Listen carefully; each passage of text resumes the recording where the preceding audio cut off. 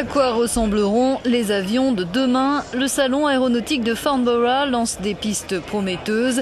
L'événement met tout autant à l'honneur les idées futuristes que les nouvelles technologies déjà présentes dans l'aviation commerciale ou en passe de l'être. L'avionneur européen Airbus, par exemple, a fait entrer l'iPad dans le cockpit.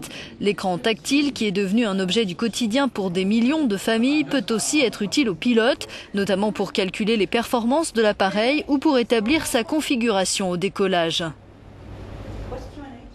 Nos enfants l'utilisent tous les jours. Donc il faut que nous, on soit capable de proposer à nos utilisateurs de nos Airbus le même type de technologie, surtout quand euh, c'est aussi fantastique en termes d'ergonomie, de facilité d'accès, de traitement de données. Le salon consacre un espace aux projets innovants, en particulier ceux des universités européennes. Celle de Cardiff, en Grande-Bretagne, a mis au point un système pour détecter en temps réel les éventuels dégâts sur la structure de l'avion. Le principe de ce dispositif, c'est la remontée d'informations.